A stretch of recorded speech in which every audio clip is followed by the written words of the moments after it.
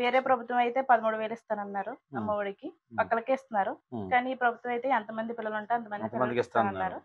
అదైతే చాలా హ్యాపీ ఎందుకంటే నాకు ఇద్దరు పిల్లలు ఉన్నారు ఉమ్. దానివల్ల నేను కొంచెం బెనిఫిట్ పొందుతాను కదా అని చెప్పి చాలా హ్యాపీగా ఫీల్ అయ్యాను నేను ఇంకోటి ఏంటంటే మా అత్తయ్య గారికి ఫార్టీ ఫైవ్ ఏజ్ ఉన్నదండి పద్దెనిమిది వేలు వస్తాయి ఆవిడకి.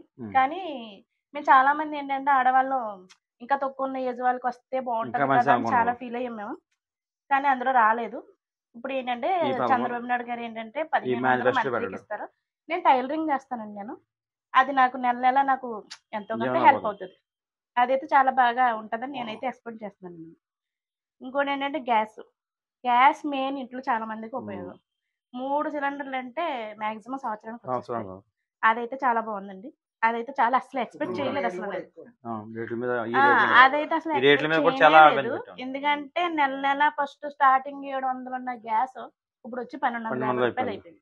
నెల నెల కట్టాలన్నా మాకు చాలా ఇబ్బంది అదే వే- వెయ్యి రూపాయలు కాదు ఇది. ఇస్తున్నారంటే బాబు గారు అయితే బాగానే ఇస్తున్నారని చేసి మేము అనుకున్నాం ఇది బాగానే ఉంది బస్సు అంటారా ఖచ్చితంగా పిల్లల కోసం దేనికైనా ఊర్లు వెళ్ళాలన్నా బస్సు కట్టాలంటే టికెట్ చేయాలంటే కష్టమే ఇది మాత్రం బాగుంది బాగుందండి బస్సు. పదండి